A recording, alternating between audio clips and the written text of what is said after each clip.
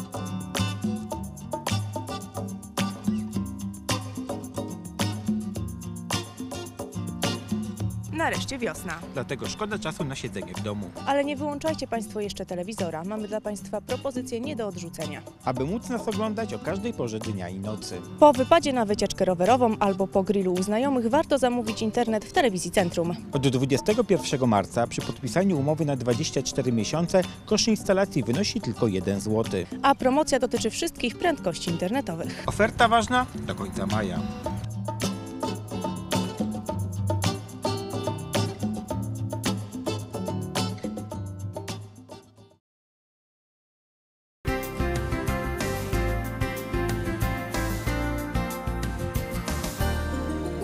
Tematem rozmowy jest wprowadzany program ochrony środowiska dla miasta gminy Zgierz. Pani prezydent majstruje przy procedowaniu tego programu. Nie są Schowane, schowane do publicznie. szuflady. Ale przyzna pan, że uwagi powinny być opublikowane. Mamy Ale pani mi dokument. obraża, pani mi obraża mówiąc o przepchanki. bym chciał, żeby pan mi dał też e, Już. skończyć swoją myśl. Jest wina kogo? Prezydenta miasta. Do zobaczenia.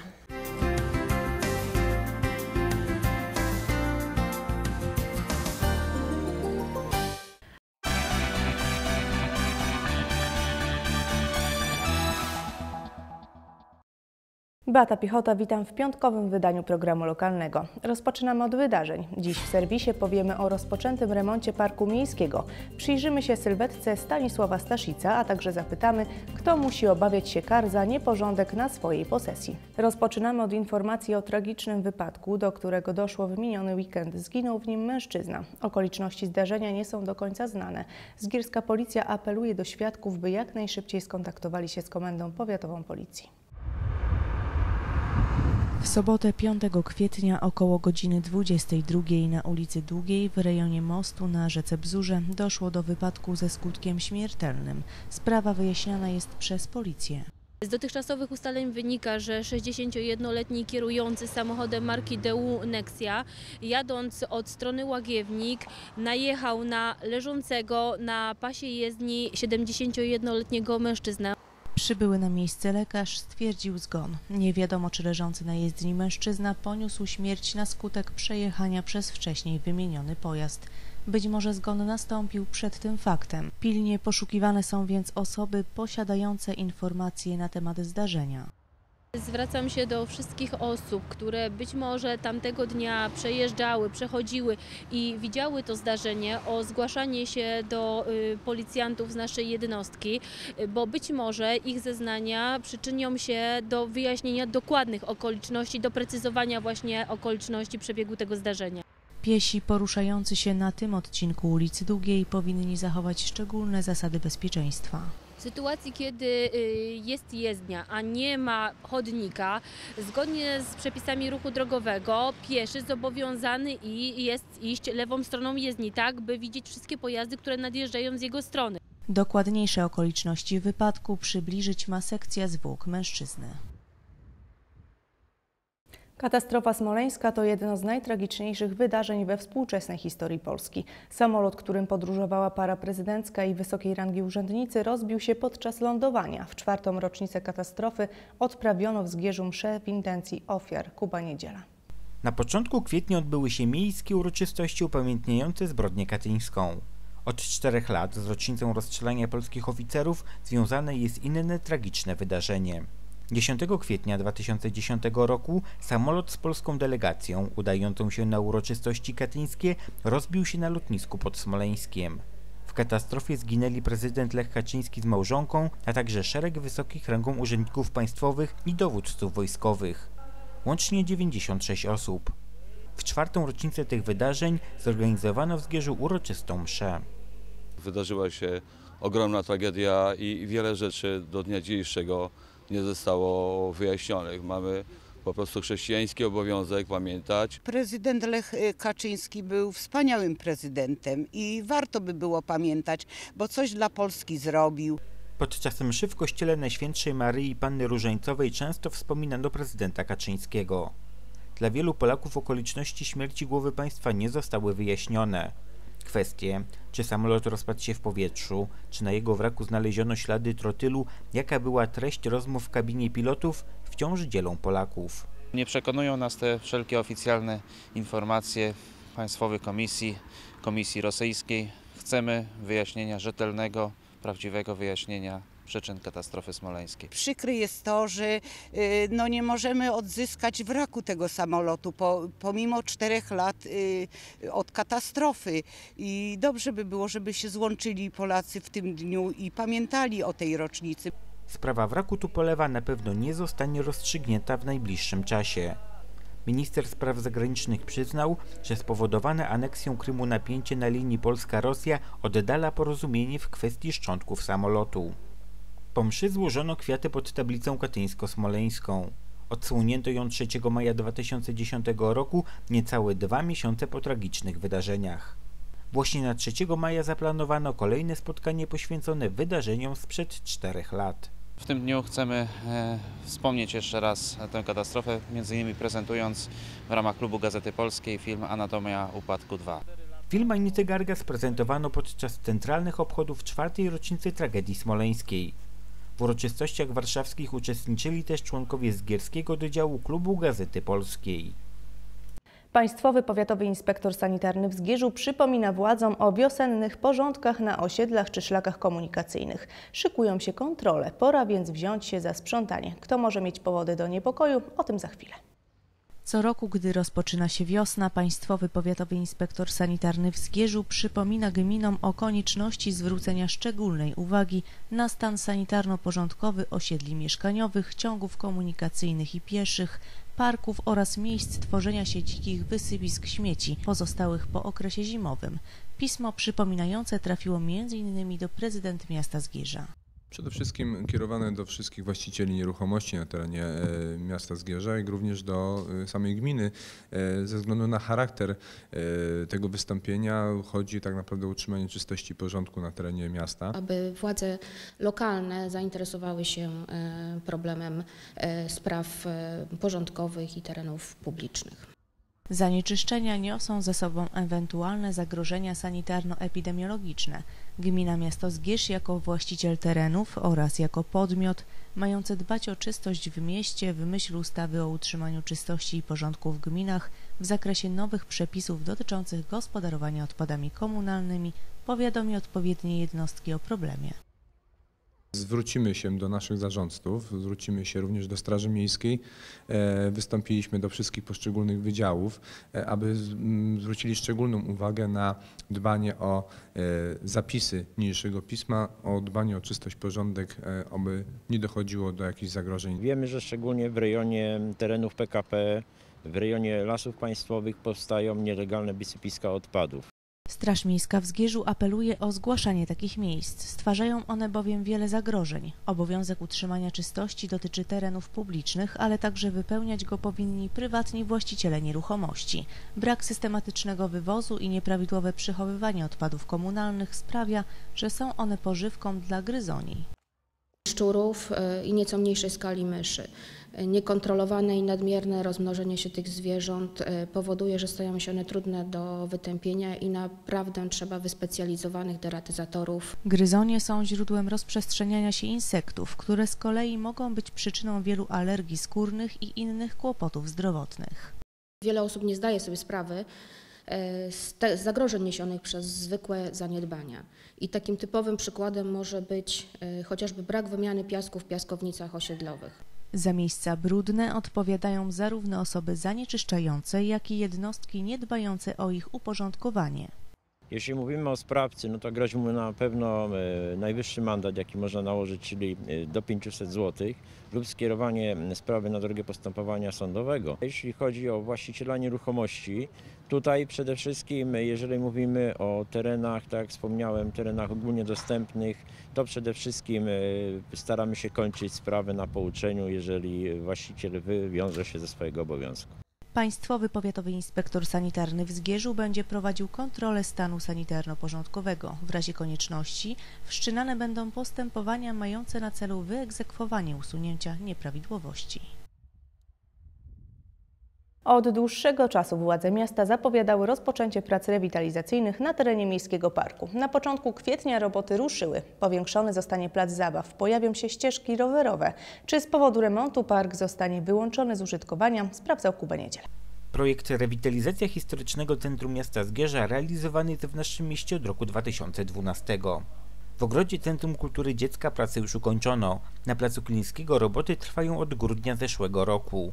Natomiast w bieżącym miesiącu rozpoczęto nowy etap programu. Dzisiaj wkopaliśmy łopatę w parku miejskim, ponieważ przekazujemy teren budowy, żeby właśnie te prace mogły się już tutaj też rozpocząć. Pierwszym etapem realizacji rewitalizacji na parku będzie rozbudowa placu zabaw, budowa minigolfa, e, ścieżek w tym obszarze, w którym właśnie znajduje się plac zabaw. Na placu zabaw pojawić się ma 18 nowych urządzeń, także specjalne figury przedstawiające dinozaury. Teren przeznaczony dla dzieci zostanie poszerzony i wyłożony specjalną nawierzchnią. To nie wszystkie zmiany. Alejki, które w tej chwili są alejkami ziemnymi, y, otrzymają nową nawierzchnię plus okrawężnikowanie. Wokół e, stawu będzie e, wykonana ścieżka rowerowa, a także ciąg spacerowy. Obie ścieżki nie będą ze sobą kolidowały, ponieważ mają być przedzielone pasem zieleni. Do tego będą wykonane z różnych materiałów odpowiadających rodzajowi ruchu, jaki będzie się na nich odbywał. Na początku roku Państwa uwagę przykuła wycinka drzew południowej części parku. Rewitalizacja obejmuje także ten aspekt. Nowych nasadzeń będzie sporo, ponieważ e, wchodzi tu zakres e, ponad 100 drzew, plus e, mamy nasadzenia zieleni zarówno niskiej, jak i wysokiej. Poprawiony ma być stan większości trawników. Szeroki zakres planowanych prac wzbudził obawy, czy park nie zostanie wyłączony z użytkowania. W obliczu coraz lepszej pogody byłoby to szczególnie niekomfortowe dla mieszkańców. Przewidujemy etapowanie prac, tak aby umożliwić mieszkańcom jak najdłużej, jak na, najpełniejsze korzystanie z tego dobrobytu, który tutaj mamy w postaci stawu dla wędkarzy, placu zabaw dla dzieci, no i ścieżek czy e, parku linowego dla młodzieży. Będziemy się starać tak te prace organizować w parku, żeby Państwo już e, w wakacje mogli przynajmniej z części parku e, korzystać. Natomiast późnym latem bądź jesienią rozpoczną się prace rewitalizacyjne przy ulicy Rębowskiego. Pełny koszt projektu odnowy Centrum Zgierza to 10 milionów złotych, aż 7,7 miliona pochodzi z unijnego dofinansowania. Czy wiedzą Państwo, kim był Stanisław Staszic, gdzie się urodził, czym zajmował? Postać tego działacza oświeceniowego, pisarza politycznego, filozofa była tematem ostatniej edycji konkursu o patronach szkół ponadgimnazjalnych. Z kamerą uczestniczyliśmy w rozdaniu nagród laureatom. Konkurs wiedzy o patronach szkół ponadgimnazjalnych odbył się po raz ósmy. Tym razem uczestnicy rywalizowali ze sobą w zespole szkół ogólnokształcących imienia Stanisława Staszica w Zgierzu. I właśnie to patron, jakim jest Staszic, wzięty został pod lupę podczas tegorocznej edycji. Były pytania otwarte i zamknięte, była część pisemna i była część ustna. Trzeba było znać ikonografię, trzeba było zapoznać się z, z podaną, z, z literaturą podaną w wykazie, udostępnioną zresztą szkołom, tym, które takiej literatury nie miały. Wychodzimy z założenia, że młodzież, e, która szczególnie mocno interesuje się patronem e, naszej szkoły, ale też patronami innych szkół, musi mieć dobrą wiedzę o mm, bohaterze każdej edycji, więc stąd trudność pytań. Czytałyśmy książki, dostawałyśmy różne materiały, e, pani nas przygotowywała, testy pisałyśmy na tej zasadzie. Konkurs ma kształtować postawy patriotyczne i obywatelskie, poszerzać wiedzę o patronach, rozwijać wiedzę o przeszłości historycznej regionu oraz pogłębiać świadomość narodową. Wzięła w nim udział młodzież z sześciu szkół z terenu powiatu zgierskiego. Cztery szkoły ze Zgierza, młodzież z Aleksandrowa i z Otorkowa. Zresztą jest to generalnie te szkoły akurat biorą udział w praktycznie wszystkich edycjach, edy- edycjach konkursu. Łącznie było to 11 zespołów uczniowskich, ponieważ każda szkoła mogła zgłosić po dwa zespoły dwuosobowe. Chodzi nam również o to, żeby nie były to tylko postacie z biografiami z Wikipedii czy biografiami takimi encyklopedycznymi, ale również, żeby poznać postacie jako ludzi. Nasza wychowawczyni od historii, nauczycielka, e, zgłosiła nas, e, uważała, że nadajemy się, więc dzięki niej jesteśmy tutaj. Na zwycięzców czekały nagrody współfinansowane przez Gminę Miasto Zgierz, Powiat Zgierski oraz Towarzystwo Przyjaciół Zgierza. Jestem zadowolona, no co tam słuchawki, tak? Więc myślę, że było warto. Prezentem dla wszystkich uczestników okazała się wycieczka prowadząca śladami patrona tegorocznego konkursu. Tym razem jedziemy do miasta urodzenia Stanisława Staszica, czyli do Piły. Dostajemy wycieczkę, która tak jakby nie patrząc na nas jeszcze będzie kształciła później. Chęci pogłębiania świadomości narodowej oraz poczucia dumy z historii Polski warto nagradzać. Wartości te bowiem na pewno przydadzą się młodym ludziom w przyszłości. Ta tak zwana wiedza pozaźródłowa e, jest cenna i, i, i później się przydaje w życiu, e, w różnych quizach, konkursach, ale też w takim zwykłym, szarym życiu. Wszelkie zaangażowanie młodzieży w pozyskiwanie wiedzy, edukowanie się jest niezwykle cenne i warte nagrody. Nie pozostaje nic innego, jak tylko życzyć udanej wyprawy. Być może nieznane dotychczas uczniom tereny geograficzne zainspirują ich do dalszego poznawania zakątków naszego kraju, jak i wyjątkowych osób niegdyś w nim żyjących. To już wszystkie informacje, jakie przygotowaliśmy dziś dla Państwa. Proszę o pozostanie z nami. Już za chwilę rozmowa Moniki Gering na temat gminnego programu ochrony środowiska. Następnie zapraszamy na reportaż poświęcony Marianowi Glinkowskiemu, niedawno zmarłemu reżyserowi i animatorowi kultury, który wywarł niebagatelny wpływ na działalność teatralną w naszym mieście. Ja już się z Państwem żegnam. Do zobaczenia.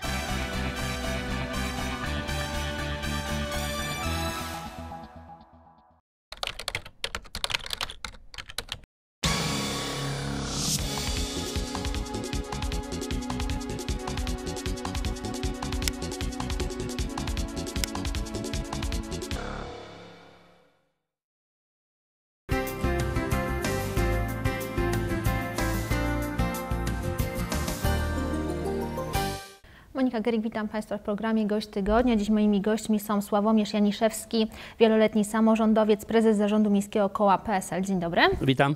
Oraz Przemysław Staniszewski, pierwszy zastępca prezydenta miasta Zgierza. Dzień dobry. Witam serdecznie. E, A dzisiejszym tematem rozmowy jest wprowadzany program ochrony środowiska dla miasta gminy Zgierz. Panie prezydencie, pierwsze pytanie do Pana. Na najbliższej sesji 24 kwietnia ma zostać przyjęty gminny program ochrony środowiska dla naszego miasta. Do najbliższego poniedziałku 14 kwietnia Zgierzanie mogą wnosić swoje uwagi. Czy je wnoszą, a jeśli tak, to czego dotyczą?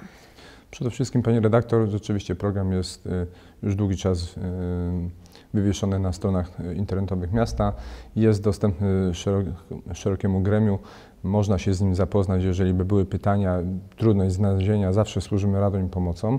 Na tą chwilę pragnę zauważyć, niestety, może niestety właśnie, nie ma żadnych uwag do e, programu ochrony środowiska, jaki będzie podejmowany na najbliższej sesji Rady Miasta Zgierza. Czekamy na nie do 14 kwietnia, tak jak Pani wspomniała.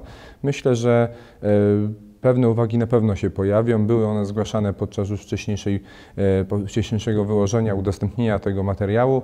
E, Weźmiemy je również pod uwagę. Ten dokument został opracowany przez wykonawcę zewnętrznego, mający stosowne uprawnienia i wiedzę. E, został zaopiniowany przez właściwe instytucje, w związku z czym no, będzie dalej procedowany. Panie Sławomierzu, na sesjach przychodzi Pan na sesję w punkcie Nie- nie zapytania zawsze. i interpelacje mieszkańców. E, Ma Pan zawsze wiele uwag dotyczących owego programu, że jest prowadzony tak późno. Mm, Mówi Pan też, że Pani Prezydent się nie wywiązuje ze swojego zadania. Też to trochę dziwi mieszkańców, dlatego że to Pan ją desygnował na stanowisko e, prezydenta z partii PSL-u. Jakie tam są teraz między Wami zagrywki? Czy Pani Prezydent jest dalej w PSL-u, czy nie jest? Czy została wyrzucona, czy sama się zawiesiła w obowiązkach? To jest e, już zupełnie inna bajka. Co jest nie tak z tym programem według Pana? Ale ja nie powiem o bajce. Ja chcę powiedzieć o ważnych sprawach dla miasta. E, prezydentura pani Iwony Wieczorek to nie jest moja desygnacja, to jest desygnowanie przez Komitet Wyborczy PSL-u, żeby była jasna sytuacja. Ale Pan jest prezesem tego koła miejskiego. Dobrze, ale ja uporządkuję sytuację, bo były, w pytaniu pani były co najmniej pięć pytań i króciutko odpowiem, żeby była jasna rzecz. Komitet Wyborczy PSL-u zgłosił panią Iwonę Wieczorek na prezydenta miasta Zgierza, wygrała wybory i to jest kluba dla kandydatki. Natomiast w żadnym wypadku nie mieliśmy jako koło miejskie PSL-u żadnego wpływu na to, co robiła pani prezydent. Pani prezydent została przejęta, ja tak delikatnie powiem, przez pewne grupy albo interesów, albo faktycznie rzecz biorąc tą grupę, która dzisiaj rządzi w mieście, czyli Polskie e, PiS, Prawo i Sprawiedliwość, SLD oraz grupę radnego Sokoła. To trzeba jasno sobie powiedzieć. PSL jest dostawką do tej sytuacji, mając dwoje radnych nie mających wpływu z różnych jeszcze innych powodów personalnych na to, co się dzieje. To jest po pierwsze. Panie prezesie, ja panu wejdę Ale słowo. Ja tylko, jeżeli rzecz. chodzi, ale, ty, Ale obydwaj panowie, pan Skupiński i pan Pelikan za każdym razem podnoszą grzecznie rączki, Ale to kiedy jest jest Państwo absolutorium. wiecie dlaczego, między innymi z jakiego powodu, pewnej zależności, pewnych uzależnień związanych z realią, ale oni nie decydują o kształcie na dzisiaj, decydują radni PiSu, SLD i klubu radnego pana Jerzego Sokoła, ale mówię o innych rzeczy, chcę powiedzieć. Bo po co mamy tworzyć pewną atmosferę nieporządku? Pani Iwona Wieczorek została od początku, od co najmniej dwóch lat krytycznie oceniana przez koło miejskie PSL-u. Skończyło się to tym, że została 3 lutego skreślona.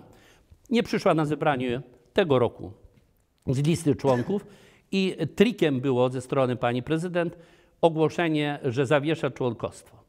E, Prawomocnie zebranie ogólne 31 marca tego roku zatwierdziło uchwałę z 3 lutego skreślającą panią Iwonę Wieczorek z listy PSL-u. Uporządkujmy sytuację. Pani Iwona Wieczorek nie jest członkiem Polskiego Stronnictwa Ludowego. I teraz można mówić, że wszystko, co robi, robi źle. Nie, wcale nieprawda. Mieliśmy odwagę, ja osobiście miałem odwagę. Państwo możecie wejść na stronę internetową www.psl.tam, myślnik odpowiednio jest, wyszukiwarka natychmiast znajdzie. Od 2011 roku krytykowali, krytykowaliśmy działania pani prezydent, ale można powiedzieć nieskutecznie, bo jak powiedziałem, pani prezydent była pod wpływem pewnych grup interesów, po pierwsze, i tych partii, które faktycznie rzecz biorąc decydują o losie miasta. Też pan tak uważa? No, panie redaktor, jeżeli mogę, myślę, że nie do końca tak jest, panie mecenasie. Nie zgodzę się z tym, y, że była pod wpływem. Oczywiście jesteśmy y, współrządzącymi w tym mieście z racji tego, jaki układ sił politycznych, jeżeli można tak to nazwać, pojawił się w, w jednostce samorządu terytorialnego w Radzie Miasta. No, takie, y, ludzie dokonali, takiego ludzie dokonali wyboru, trzeba się z tym pogodzić. Y, Na zasadzie współrządzenia trzeba móc działać w tym mieście i robić wszystko, jakby było najlepiej. Nie zgodzę się też z tym, że pani prezydent w żaden sposób nie reprezentowała Polskiego Stronnictwa Ludowego, bo uczestniczyła w wielu spotkaniach. Dożynkach. To, I to na, na szczeblu władz y, tych najwyższych. Y, To już między państwem jest tak naprawdę Ale- kwestia oceny tego, jak to wygląda, czy Ale wolałbym, panie redaktor, żebyśmy Ale nie mówili pan- dzisiaj o PSL-u, jeżeli żebyśmy mogę mówili o dokończyć. ochronie środowiska, bo to jest najważniejszy problem dzisiejszego No, spotkania. wróćmy, wróćmy do tematu, No co właśnie. jest nie tak w tym programie. Dlaczego Jasne. pan go krytykuje Ale na może- sesji? Proszę? Dlaczego jest... Krytykuję z góry. To, co pan prezydent mówi, to jest smutne. Nie smutne w sensie uporządkowania sytuacji. Bo powiedzmy sobie szczerze, proszę państwa, ja e, wielokrotnie e, apeluję do mieszkańców miasta Zgierza. Kiedyś tu miałem taki program e, parę lat temu, gdzie mówiliśmy o sprawach dotyczących w ogóle ekologii, o tym, co się dzieje w mieście. I wtedy powiedziałem, Zgierzanie, obudźcie się. I powtarzam jeszcze raz, Zgierzanie, obudźcie się. Patrzcie na to, co się dzieje w mieście. Wstańcie z kolan, bo taka sytuacja jest obecnie. Dwa zdania muszę nawiązać do czegoś, co było niby przeszłością już jest, ale niedokończoną, a związane z programem ochrony środowiska. Mianowicie do kwestii tak zwanej, w cudzysłowie, zakładu termicznej obróbki odpadów, a jednocześnie tak zwanej spalarni, jak się mówi popularnie. Powiem krótko i odpowiadając za swoje słowa jako prawnik, to mieszkańcy Zgierza, nie mówiąc o radnych, zostali totalnie wprowadzeni w błąd przez prezydent miasta Zgierza Iwonę Wieczorek. W maju 2011 roku została wprowadzona do uchwały o rewitalizacji centrum miasta Zgierza zapis, że ma być za, zakład termicznej obróbki odpadów, który rozwiąże problem odpadów w Zgierzu. Kłamstwo. Absolutnie wtedy zakładano coś, co z góry jest zupełnie inną rzeczą, ale o których nie widzieli radni i nie widzieli w ogóle mieszkańcy miasta. Dopiero w kwietniu 2012 roku, po wydanej decyzji środowiskowej, okazało się, że tam nie mogą być spalane absolutnie odpady komunalne ani odpady z lagun. Proszę Państwa, dlaczego to mówię? Dlatego, że już nie mówię o kwestii dotyczącej toku tej sprawy, odpowiedzialności, wydanych warunków zawodowych, tylko chcę nawiązać do jednej bardzo ważnej rzeczy. Po to, co się dzieje z programem ochrony środowiska, to powiem, jest to recydywa, jest to skandaliczne z punktu widzenia e, tego, co społeczeństwo miasta powinno wiedzieć w nowoczesnym mieście w okresie partycypacji społeczeństwa w ważnych sprawach dla miasta. Rozśmieszę, rozśmieszyłem się ostatnio, e, przepraszam, w bardzo poważnym temacie. Relacjonujecie Państwo jako telewizja znakomite nieraz programy. Trzy-cztery tygodnie temu był program na temat partycypacji społecznej społeczeństwa w różnych trudnych sprawach w mieście. Była obecna pani prezydent i kilka osób, szczególnie te osoby, które relacjonowały, była pusta sala. Dlaczego o tym mówię także? Z prostego powodu. Bo to, co jest z programem ochrony środowiska, to jest kpina. Nie w sensie tym, że nadano bieg określonej sprawie, bo my o tym już mówiliśmy trzy lata temu, tylko o tym, jak, w jaki sposób to jest załatwiane. Ja sobie zrobiłem ściągę, wychodząc dzisiaj rano z domu, idąc do pracy zawodowej i proszę Państwa, to jest, proszę wejść na stronę biur, Biuletyn Informacji Publicznej Urzędu Miasta Zgierza.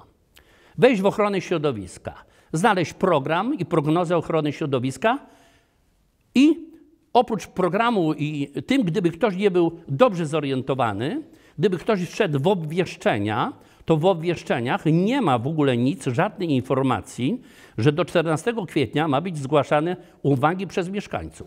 Panie prezydencie. Od razu się odnoszę jak najbardziej. No, panie mecenasie, pan dobrze najlepiej wie, że pewne procedury w zakresie terminów, sposobu upublicznienia informacji w zakresie ustawy o udostępnianiu informacji są y, narzucane przepisami prawa i tak naprawdę gmina miasta Zgierz, kierując się przede wszystkim w tym zakresie, y, podejmuje czynności. Tak jak Pan słusznie zauważył, program został podjęty. Jak tylko się pojawiłem w tym urzędzie, e, podjąłem decyzję o tym, że należy zrobić Chwała coś tym, tym fantem. Zabezpieczyliśmy środki w 2012 roku e, na budżet roku 2013. Podjęte zostały prace, wyłoniony wykonawca i te czynności e, stały się faktem i zostały realizowane. Mamy w tym momencie, jesteśmy przed dniu tak naprawdę jego uchwalania. Panie co do merytorycznej, co do merytorycznej się, kwestii, e, Panie prezydencie, nie zgodzę się z Pana Ale jakby pan, dał mi Pan, Co Panie do... mecenasie dokończyć. Przepraszam. E, co do kwestii związanych z merytorycznymi zapisami tego programu, są określone one przez e, wykonawcę e, realizujący na zlecenie miasta te wszystkie sprawy. Został on pozytywnie zaopiniowany przez Regionalną Dyrekcję Ochrony Środowiska. Prognoza została w tym zakresie również określona. Czekamy na informacje z Sanepidu. Myślę, że to pozwoli tak naprawdę podjąć ten temat.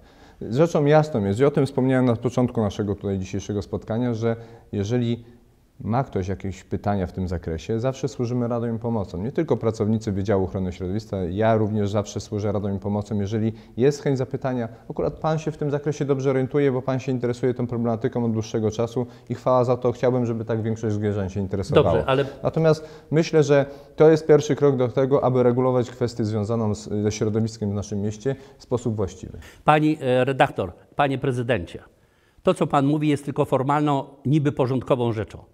Natomiast ja chcę dotknąć dwóch rzeczy, o których nie mówiłem dotychczas, merytorycznych. Ale, panie... I pewnego, ale pani redaktor pozwoli niezwykle ważne sprawy. Z punktu widzenia formalnego miasto w sierpniu w ubiegłym roku dało do zlecenia firmie Atmo opracowanie projektu programu ochrony środowiska. Oświadczam odpowiedzialnie, publicznie. W czerwcu. Czy w czerwcu, ale w sierpniu został oddany materiał, panie tak. prezydencie. Tak. Do września była informacja w biuletynie publicznym zgłaszania uwag do określonej daty.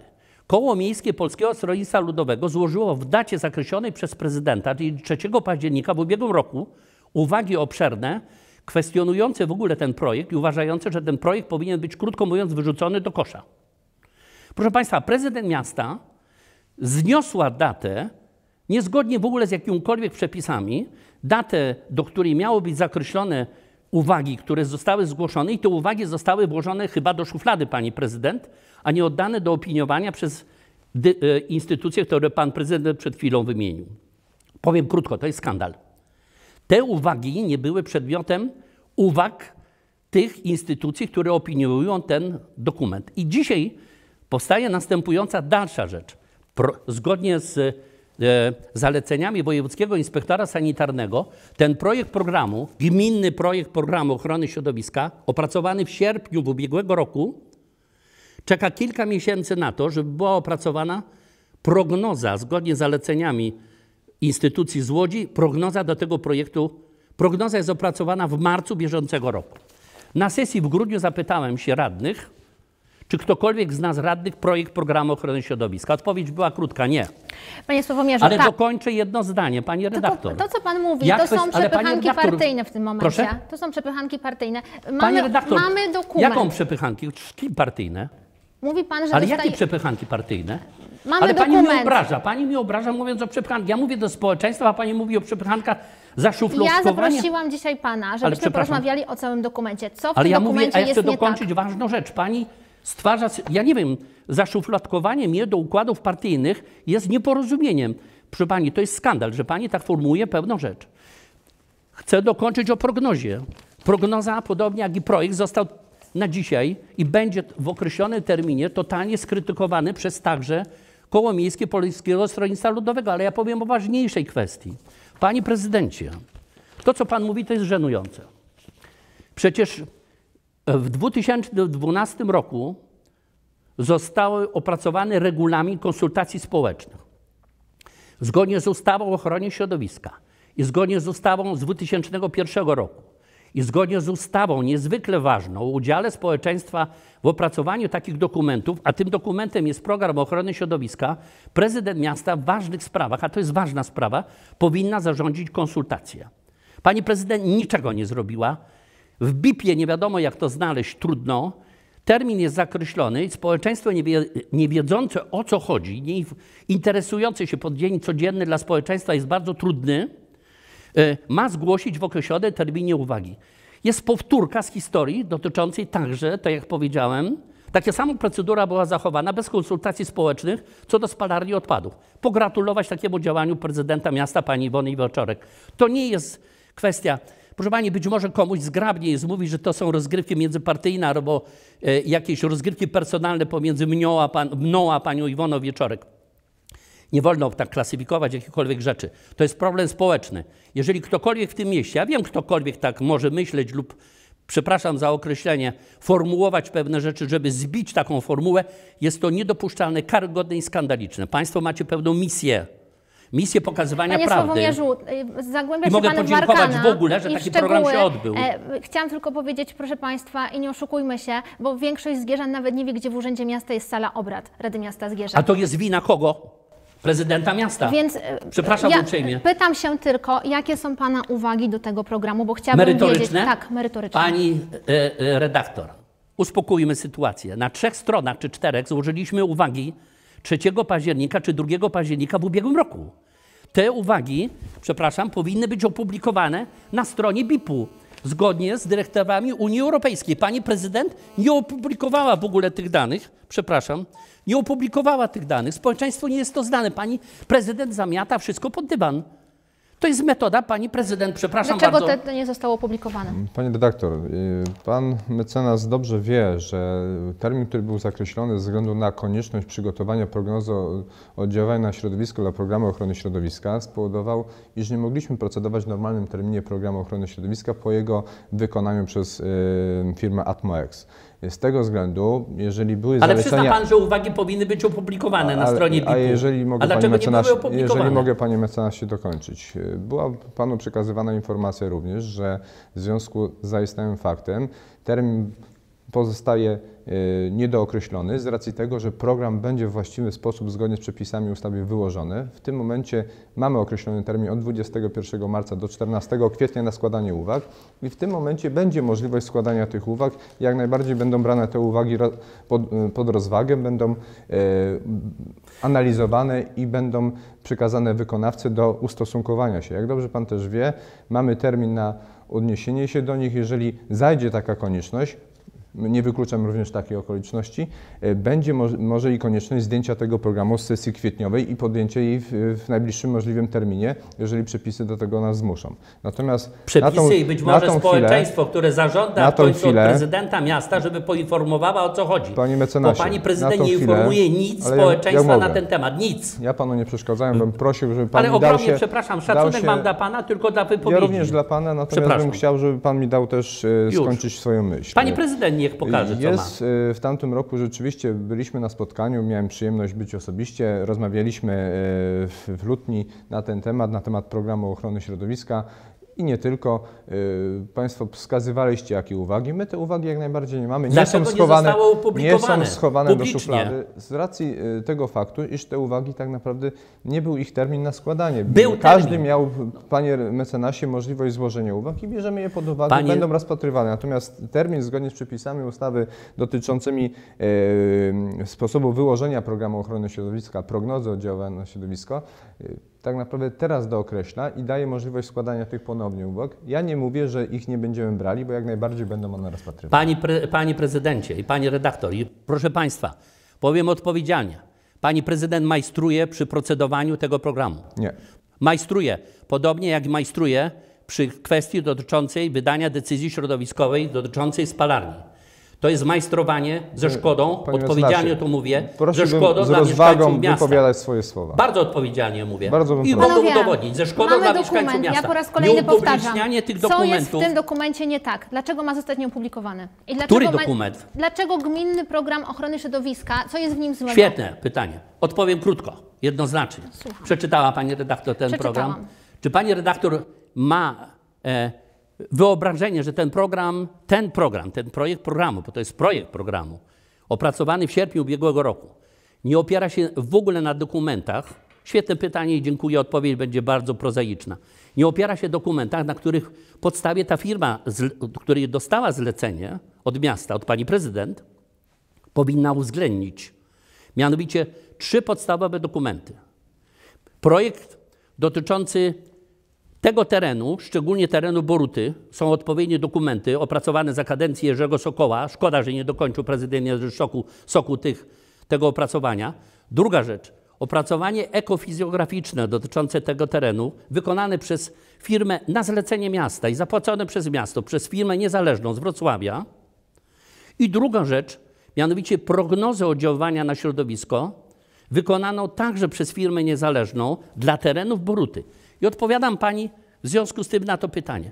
W projekcie programu ochrony środowiska na podstawie tych dokumentów powinna być stworzona pewna wizja najważniejsza, bo to jest najważniejszy moment dla miasta i dla mieszkańców. Co ma być na terenie dawnych zakładów Boruta? Projekt programu ochrony środowiska jest, e, jakby to nazywać, programem, w którym wszystko się znajduje. Ale nie znajdują się najważniejsze rzeczy, pewne zalecenia, pewne kwestie związane z dawnymi terenami. O to walka jest w ogóle. I to jest najważniejsza rzecz dla funkcjonowania miasta i dla przyszłości miasta. Czy miasto ma być miastem przyjaznym dla ludzi, czy miastem, tak jak ten program otwiera, ten program w tym kształcie opracowany przez panią e, Iwonę Wieczorek, otwiera drogę do jednej rzeczy, bardzo niebezpiecznej. Mianowicie projekt programu ma stanowić podstawę do tego, ażeby było uchwalone za chwilę studium uwarunkowań zagospodarowania przestrzennego miasta w maju tego roku. A w studium na terenie tych dawnych zakładów Boruta, przy akceptacji tak kiepskiego programu, projektu programu, jakim jest opracowany te, przez firmę Atmo i prognoza, która pomija zupełnie także te materiały z marca tego roku, ten teren staje się przedmiotem gier polegających na tym, że tam mają być zakłady utylizacji odpadów, składowisk odpadów, które na podstawie tych dokumentów, które mówiłem przed chwilą, opracowanych za kadencji prezydenta Jerzego Sokoła, który nie dokończył niestety Pan Sokół to tej nawet sprawy. nie zrobił programu ochrony środowiska, bo który powinien w 2008 roku wygasnąć. Zgadzamy się znów, ale proszę Państwa, to jest podstawowa rzecz. Ukrywa się te dokumenty, nie pokazuje się tych dokumentów instytucjom opiniującym, nie pokazuje się społeczeństwo, albo najgorsze, co jest skandalem w ogóle, jest to żenujące, że pani prezydent miasta Zgierza coś takiego mówi. W jednym z dokumentów, kiedy poprosiłem o te dokumenty, ile miasto za to zapłaciło, padło sformułowanie następujące. To nie było za kadencji pana prezydenta absolutnie e, obecnego tutaj, pana Staniszewskiego. E, od razu sygnalizuję. Dostałem pismo, z których wynika, że dokumenty z Wrocławia, czyli to opracowanie ekofizykograficzne i prognoza oddziaływania na środowisko dla tego terenu, specyficznie wykonane, bardzo precyzyjnie, nie są ważne, ponieważ wojewoda uchylił uchwałę dotyczącą opracowania tego terenu. To jest skandal w ogóle, że takie sformułowanie było. Wojewoda uchyliła uchwałę, która miała e, określić e, zagospodarowanie tego terenu, ale z powodów proceduralnych, formalnych. Natomiast nie uchyliła tych dokumentów. I pytam się publicznie pani Iwony Wieczorek, prezydenta miasta, która majstruje przy opracowaniu tego programu, dlaczego nie opiera się na tamtych Panie dokumentach. prezydencie, bardzo proszę, e, te trzy dokumenty zostały uwzględnione, nie zostały uwzględnione. Jak pan odniesie się do słów pana Sławomierza? Jak najbardziej chciałem się do tego odnieść, ponieważ te dokumenty wielokrotnie są już przez pana mecenasa przytaczane przy różnych okazjach. Po się, ja się cieszę, że do tego nawiązujemy. Pan dobrze też wie, że jeżeli mówimy już o samym studium, on wyznacza pewne kierunki tak naprawdę zagospodarowania przestrzennego miasta, wskazuje w tym zakresie, natomiast nie jest dokumentem y, prawa miejscowego, tak? Ale co? uchwał- Studium, jeżeli o tym mówimy. Wiemy, ale E, studium i pan nie przyznaje, że po projekcie. Jeżeli, Przyznaje pan jeżeli mogę, mogę w tym zakresie. Jasne. Również w tym zakresie studium odnosi się do prognozy oddziaływania na środowisko i I programu, programu ochrony na środowisko. E, nie należy, myślę, tak do końca tego wszystkiego łączyć, ponieważ jedne i drugie dokumenty przygotowywane są w oparciu o przepisy prawa, opiniowane przez właściwe instytucje. Myślę, że jeżeli by Regionalny Dyrektor Ochrony Środowiska czy Państwowy Wojewódzki Inspektor Sanitarny uznawali, iż dokumenty są w sposób niewłaściwie przygotowane, mają swoje wady, nie wypełniają e, stosownych zapisów, zanegowałyby taki dokument, natomiast nie udzielałyby opinii pozytywnej w żadnym Ma pan zakresie. opinie pozytywne do tych programów teraz? Regionalny dyrektor jak najbardziej Teraz? udzielił nam w tym zakresie. Kiedy? Z jakiej daty? Co, co do programu, teraz panu nie powiem z głowy, wiem, że jest. Ale po prognozie? Natomiast Po prognozie z tego roku? je- jedynie czekamy jedynie na dokument od, od Sanepidu, który też jeszcze na ten Nie temat Sanepidu, Wojewódzki Inspektor Sanitarny. Nam, od wojewódzkiego inspektora, tak. ma pan rację. To panie Natomiast y, jedna ważna rzecz y, dla samego studium, on, y, dokument też został też w sposób opracowany przez urbanistów. y, Zawiera kwestie związane chociażby z Parkiem Przemysłowym Boruta. No, E, ale gdzie jest w tych dokumentach? Ale jak najbardziej również, Który mówimy? Tu, jeżeli mówimy o prognozie, ona też określa pewne ogólne Gdzie? aspekty. Gdzie pan mecenasie, znajdzie panie stronę? mas- Panie, Panie panie mecenasie, nie, nie będziemy tak rozmawiać, pan znajdzie pan stronę, chciał, na żeby którym jest wszystko było... Ale momencik, panie Niech pan mecenasie. znajdzie stronę, proszę Państwa, w prognozie ochrony środowiska z marca tego roku proszę znaleźć stronę, która mówi na terenie e, opracowanie dotyczące uwag terenu po byłych zakładach Boruta. Niech pan Dobrze. znajdzie stronę, To ja nie nie- mam. To z drugą stronę zapytam. Panie Sławomierzu, panie redaktor, jeszcze tylko jeżeli, słowo. je- Jeżeli, mówimy mogę. o, bo w, gminnym o programie ochrony środowiska jedno zdanie. możemy przeczytać, że rekultywacja e, na przykład starych e, e, składowisk e, śmieci i tak dalej, a e, syn pana radnego Skupińskiego z PSL-u Ale na, s- Pani redaktor, na Szczawińskiej przy przelatu- po starym przelatuje Pani zgrabnie, być może, przepraszam uprzejmie, e, szanuję tam Panią składa bardzo, ale śmieci. jeżeli ktoś przy tym chce upiec jakąś pieczeń polityczną, to nie ze mną te klocki. Panie- odpowiem, panie mecenasie, ale- odpowiem Pani pre, redaktor, odpowiem Ja muszę dokończyć, ja muszę Nie, dokończyć panu jedną dokończę. rzecz, bo pan mówi o Ale tym, że powinny być ad w vocem. sposób Mogę? prawidłowy dopisane wszystkie elementy, które każdego, prawo. każdego terenu. Jak najbardziej, panie mecenasie, jak da pan mi dokończyć pani tylko nie myśl, żeby pan politycznych mógł się, w tej sprawie. mógł się do tego odnieść, bardzo bym prosił.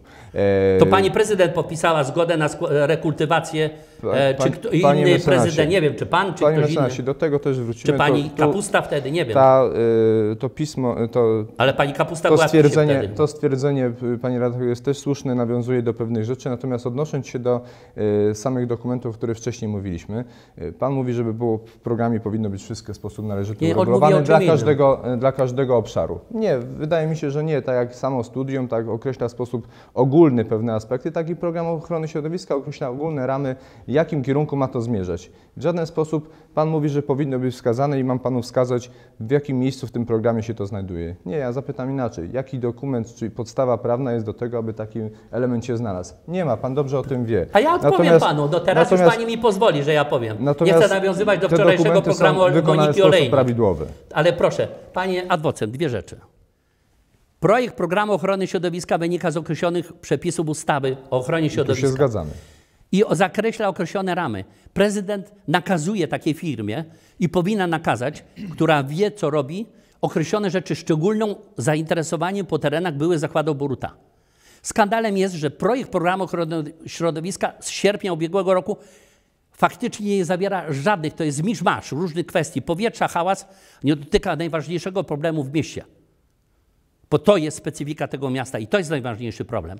Prognoza ochrony środowiska do tego projektu z marca bieżącego roku wyrywa pewną tekst z e, badań ekofizjograficznych e, opracowany przez firmę wrocławską, natomiast nie ma żadnych wniosków. Ten, kto przeczyta ten program, nie będzie wiedział, że dotyczy to byłych zakładów Boruta gdzie tam opracowanie w latach 2000, 2005-2007 zakazywało jakichkolwiek inwestycji w sposób znacząco oddziałujący na środowisko, dla których absolutnie potrzebny jest raport oddziaływania na środowisko. Pani prezydent, ten dokument w momencie wydawania decyzji co do spalarni i teraz programu ochrony środowiska zastanawiam się, gdzie ma.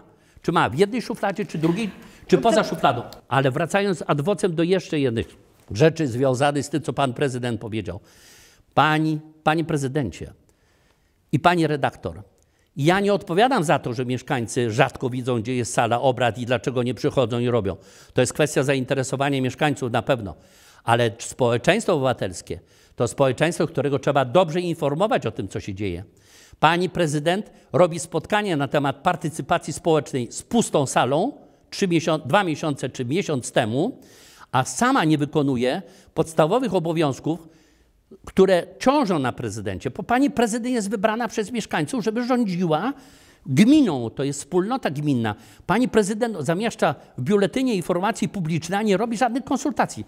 Ale cieszę się to, co pan prezydent powiedział. Panie prezydencie, informuję pana i społeczeństwo miasta Zgierza, że instytucje takie jak marszałek województwa, wojewoda, wojewódzki inspektor sanitarny, Najwyższa Izba Kontroli, została poinformowana o tej sytuacji, co się dzieje, bo nie można przechodzić do porządku dziennego. I dostałem pismo z Urzędu Marszałkowskiego, bardzo ważne, że w imieniu marszałka zawiadamia mnie dyrektor departamentu, że marszałek interesuje się całą procedurą związaną z przygotowaniem tych dokumentów. Pytanie ostatnie. Nie mam pretensji do pana, tylko nieobecnej dzisiaj pani prezydent w ogóle czy interesujący się tą sprawą, czy nie. Pytanie publiczne, które powtórzę jeszcze raz.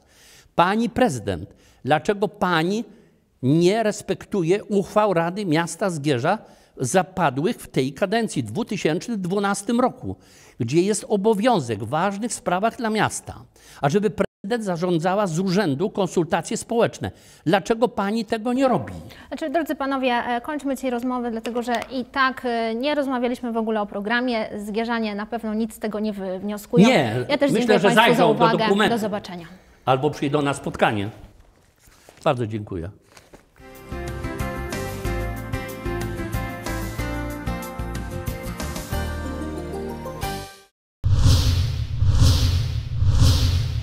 Rozpoczynamy jak zwykle od wydarzeń. Witam w poniedziałkowym wydaniu serwisu informacyjnego. A dziś w serwisie. Dziś w wydarzeniach. Proszę o pozostanie z nami. Do zobaczenia.